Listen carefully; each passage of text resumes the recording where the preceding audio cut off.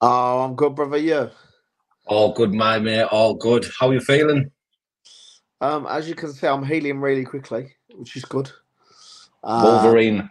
I'm feeling fucking a fat though, man. I've ate so much. No, I bet you have, mate. Especially seeing that photo of you earlier on the mornings know, away. And Jesus Christ. Jesus Christ, I am like fucking. I must be about 85 already now. Mental. It's mad. I was wondering, mate.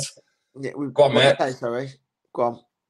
I was going to say before we like jumped into that, I was going to say what was camp like for this Oh. fight because you were obviously in the shape of your life, weren't you? Yeah, 14 weeks. Um, but it was, it was about 12 or 14 weeks, and the proper camp was about eight. But yeah, mate, best shape of my life. Um, done everything properly, took it serious. You know, one thing I said uh, to Dave Feldman, like, um, when I lost against Lindsay, everything was half-assed, and you've seen that. You've seen the difference in the performance against Johnny Yeah. Graham than what than what I did against Lindsay. Because if I fought like I did against Jake Lindsay, like I did against Johnny Graham, I probably would have I probably would have got Jake out of there really quickly. Um, so it just goes to show, you know, that I've always I've, I've I've always had the potential, I've always had the talent. I just needed to actually put the fucking effort in and do a proper job, live my life like a proper uh, professional athlete, and uh, it really paid off, hasn't it? So yeah. Yeah, definitely. And your honest opinion, mate, like going into this fight, what was yours and Sam and your coach's thoughts on Johnny Graham? Do you know what? We never really had many. Um, one of the one of the the worst things about this fight was I knew Johnny was good. I'd heard feedback from people in Leeds that said he was a good lad, he's a good boxer, and he was strong. I never really believed he was as strong as he was, to be honest. Only because I looked at his pro record and that. Um, and yeah, he dropped people. He never really knocked anyone out, so I didn't think he was a massive banger. But then again, he wasn't. He was fighting at a lot lower weight than he was uh, on Saturday night. Um, but we didn't know what to expect, to be honest. Um, if when when I but all, all all we knew was if I got on the on my toes and boxed, I'd win the fight. Um, and I couldn't get stuck into a brawl with him because from what we've seen from both fights he done is he liked to come forward, put pressure on, close the distance, go you know go into the body and and um and, and stop the opponent. So we knew it was going to be a tough fight, but to be honest, I just didn't think it was going to be as tough as it was. Yeah, and what what what were your thoughts on Johnny in the build up of the fight when you first come face to face with him at the press conference and that? Uh, I don't know. I, I, thought he was a bit of a prick, to be honest, but I think he thought the same about me. Um, think Johnny's like he's an older guy, and he I, I think probably like he's obviously been around longer in the career and stuff, and probably sees me as a bit of a cocky bastard coming through, which they all do. But that that's that's obviously that's just the way I build myself. You know what I mean? In order to get the attention. Um, but yeah, nah, um, I didn't know him really, and he, and I think from what I got from him was I, I didn't like him. He didn't like me. I think we both tried to, suppose, hide it to the fact that it's because we're fighting each other. But you seen that on, Yeah. on, on the weighing day, like obviously, I think he lashed out at me then at behind closed doors and stuff, like calling me a gobby cunt and stuff. But I think I just got to him, and uh, that that's obviously the game plan. Innit? But yeah, actually, you know, spoke to him, voice noted him since, and um, like I say, he's just a fucking tremendous fighter, to be honest. Um, and I think he'd go a long way in the sport. Yeah, he definitely will, mate. And it was cold, wasn't it, made The fight, the build up, and that in the ring pointing at each other, and that was Yeah. fucking sick, it? Epic photo that. Yeah, it was unbelievable, mate. Like, I've never got in a ring. So normally I'll get in and I will switch off order. I'll switch off from Johnny. I'll switch off from all my opponents. I'll get in there. It's not beef when I'll get in there. Um, I've had I've had high animosity fights with beef like James Kennelly and that. It was local. There was a lot of beef in Yeah. that. But, normally I'll get in a switch off, and I remember getting through the rope share, and Johnny fucking eyeball fucked me from the second I got in there. And all I was thinking was, I thought to sort of like lap it, lap it up now and like look at the crowd and that, but I just didn't want to break the eye contact because I didn't want to lose. I thought if I break the eye contact there and, and break that gaze, he's just going to win. Like, do you know what I mean? He's going to win that first battle. So for, I think for the whole of the fucking introduction, we stared, in, stared in the eyes. He give me the gun finger, I give him the gun finger back. It was just fucking. You could feel, you could cut the tension with an old thing there. And I thought, you know what, like I remember looking at him thinking, you know what, he really thinks he's gonna come fucking take my head off. uh, as exactly like what he thought, and I, you you can see that in his his post fight interviews. I think he's gutted because he genuinely like was coming to hurt me. He wanted to fucking batter me, like he said. He said I, I think he said on one of the podcasts, he goes, you know, I was just gutted because I just really wants to fucking batter him. doesn't, doesn't, that tell you how much somebody wants to fucking beat you? Like proper, but yeah, yeah, man, mad. So go, going into the first round of the fight, how were you feeling? What was your thoughts like at the end of the round? Yeah, look, it's mad. Um, I'm getting it. I'm getting that experience now, Matt. Tenth fight. I actually didn't really get all the nerves and that in the belly. It was more um anxiety of like I didn't know what was going to happen. I just didn't know what to expect from Johnny. So Johnny's had everything from me. He's seen me get knocked down. He's seen me lose. He's seen me get knocked out. He's seen me been in fights. He's seen me box, and I, I think he got to see every sort of angle I was going to come from. But I said it to Simon before the fight. I was like, I'm just worried, man. And Simon's like, what? I, like, I don't know what he's going to do. Like, I'm fucking like, just, just so like frustrated here that I haven't seen him go to like the trenches. Because I sort of knew it was going to be that fight. I knew it was going to be a tough fight. I didn't think I was going to walk through him at all. And that first round when it went in, I, I thought I won the first round. I was like, yeah, I've, I've got I've got the better of him there, especially at the end of the round. I think I, I ended up landing the better, cleaner shots, cleaner punches. Um, but he, I think he did wobble me towards the end of the round. I think it was the last 10 seconds I sort of come back to the corner and I was a bit fuzzy headed, like, where I think he just sort of caught me and I backed off a bit. Because every time he caught me and he hurt me, I just backed off. I didn't want to get engaged then. Because I've got that experience, you see, not to fucking hold my feet then. Matured a yeah. bit now rather than trying, trying, trying for scrap or try and get on my bike a bit. But yeah, after the first round, I just fucking, I knew I was in for a tough fight. Like I thought, Jesus, because I fucking I hit him with some good shots as well. Like I know I hurt him, but he like I say he kept coming. So yeah, yeah, yeah definitely mad. Was it? The, I think it was the first round. You cut him on it, didn't you? Cut him over his eye in the first round. Yeah, but I said, you know what, mate? Like honestly, like my knuckles are like blades. I've got really small fists, and it probably not the smallest fist in the division. It's mental, but the way they're built, and I don't think you can see that because the lock of broke. But these knuckles are really like pointy and I say to everyone, like the proper cutters, the, the cutters fish these are, like everyone I fight, they cut them to pieces, mate. Like they're the worst fish you can get hit by. And uh, the first couple of rounds, like that first round, I seen him cut on both eyes. I know it was bothering because when I was watching the fight back, he was constantly like rubbing his face. It's horrible when you get cut. I don't really suffer with cuts. I've only, I only suffered with that that one there, but I didn't really suffer with it through the fight where he cut early. To be fair, well, they're just the fucking knuckles I am, man. They're not blades. And when you knocked Johnny down, did you think, right, I've got him here? Did you think you were going to get him out of there? I, do you know what? I don't know what I knocked him down with. Sort of through the right hand. I was like, so we, we everyone knows my game plan that that overhand right. It was hard because I, was, I didn't feel like I, I think I just overthought the situation too much.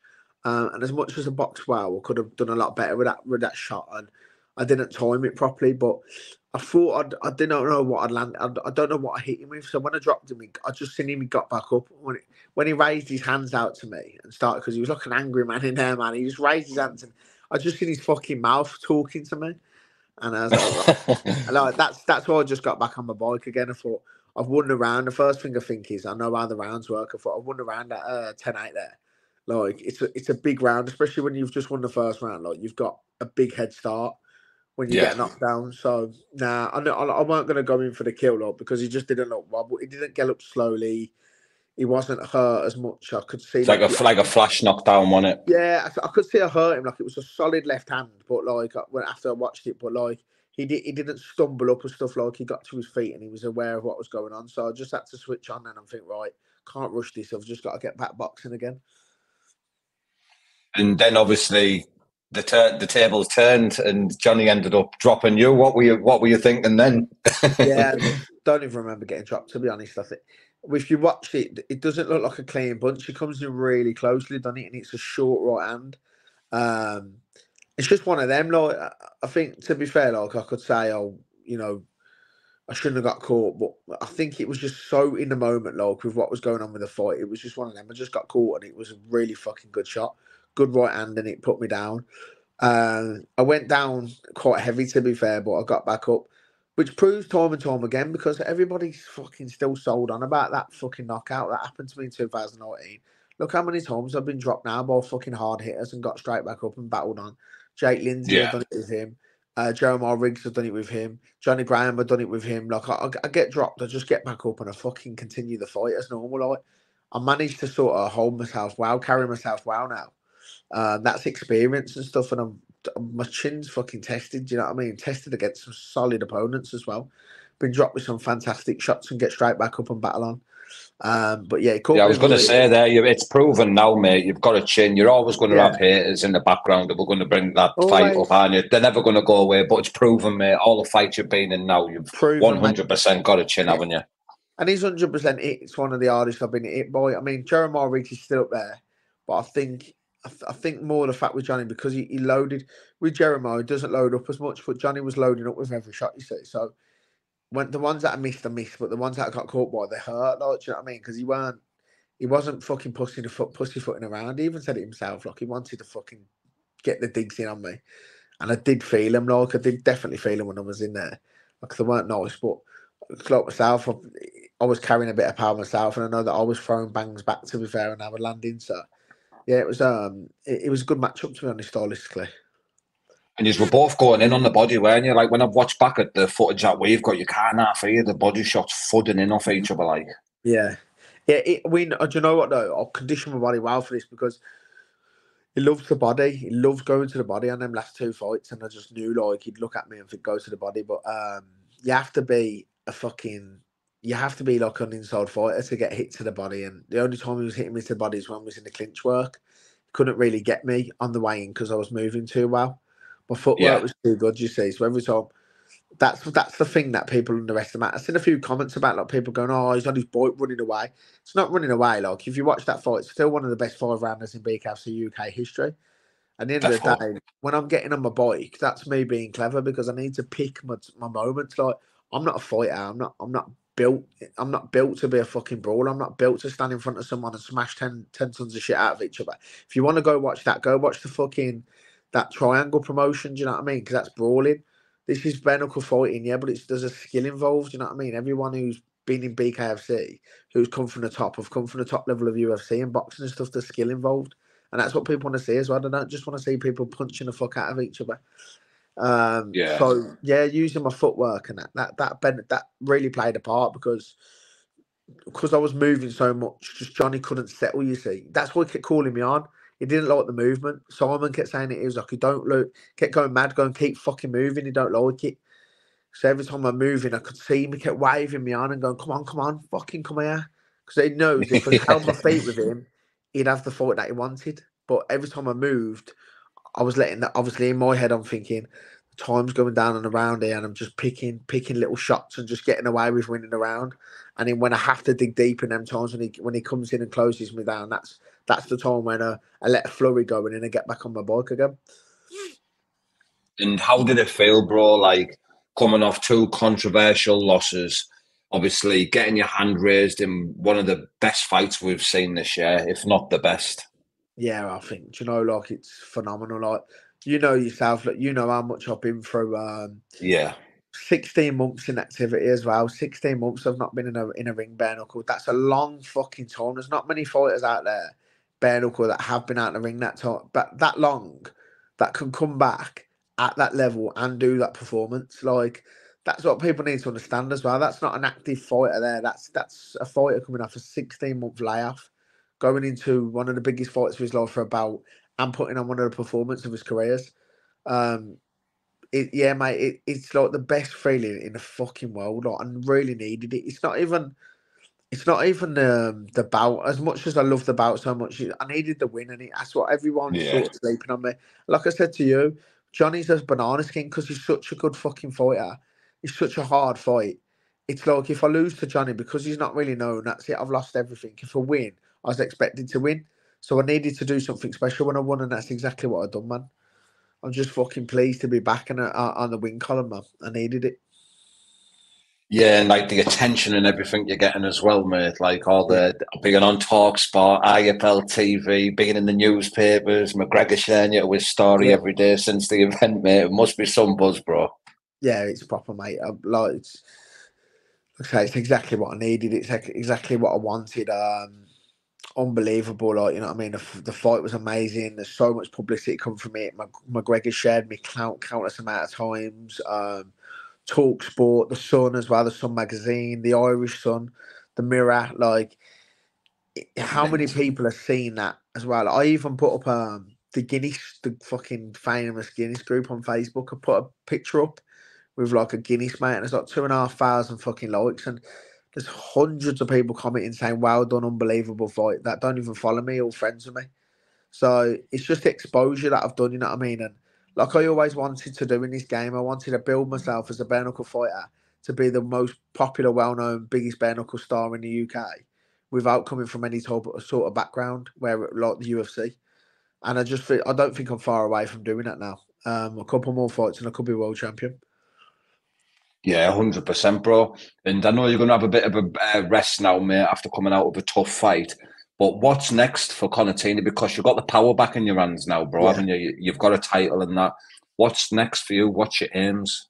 Well, obviously, Rico and Trout are fighting for the world title, and obviously that's all I ever wanted to fight for was the world title. But I think now with the European strap becoming available, um, I think a fight in Europe is definitely on the cards. I've already spoke to the European promoter.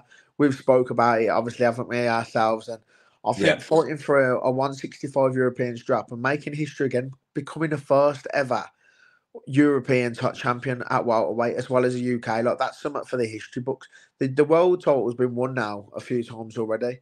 So I'll never be the first. But now to say that I'll be the first in the Europe and the UK be unbelievable. So that's I think that's what's next for me. It keeps me active. It hopefully gets me out before the end of the year.